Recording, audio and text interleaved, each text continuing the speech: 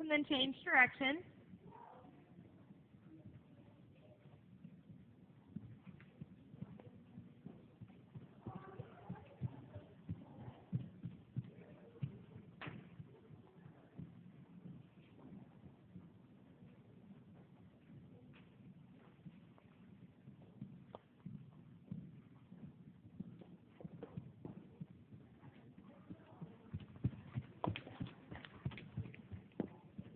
And then do a circle down here once.